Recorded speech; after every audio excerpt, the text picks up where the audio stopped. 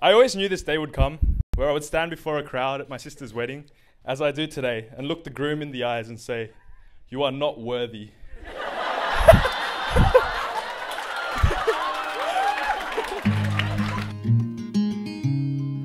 It needs to be said that marriage is a sacred institution. It's the most basic, most foundational of human society. Now we're gathered here to witness the marriage between Daebii uh, and Kara Kim. You look so wonderful in your dress. I love your hair like that. From day one, she was lovely, sensible, and humble. She was the one friend our parents let us do things with. Whenever we wanted to go to parties and our parents said no, they would change their minds if Kara was going. You got the kind of look in your eyes as if no one knows anything but us. Should this be the last thing? You are such a beautiful person inside out. In you, we found a friend that teaches us, inspires us, and loves us no matter what we do. You are the exact friend that every person needs, and we thank you so much for always just being So in love.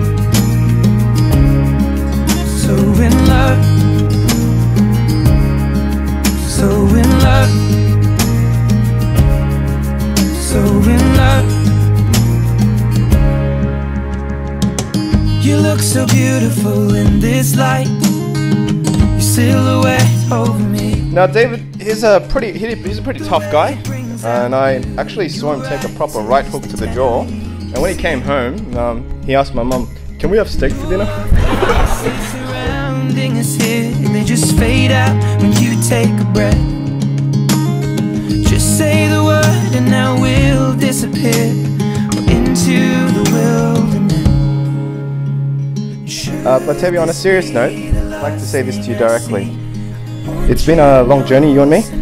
It's uh, funny because when I was writing this, I actually realized um, I've actually never said this to you, but um, brother, I love you. So in love, so in love, so in love, so in love. Lord, we have witnessed your work and blessing here. Two individuals have become one under your covenant and have formed a new family in your name.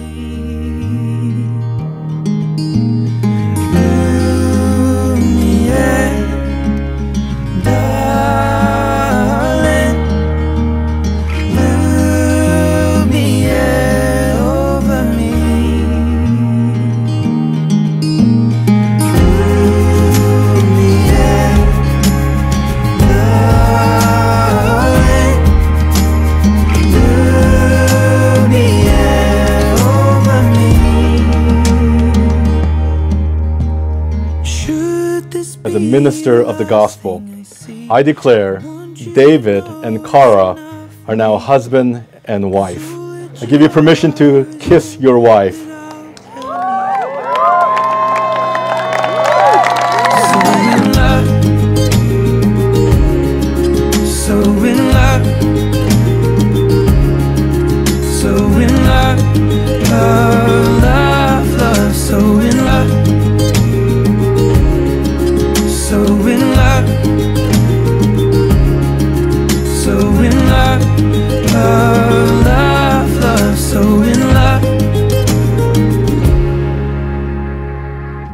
Look so wonderful in your dress. I love your hair like that. And in the moment I knew you better.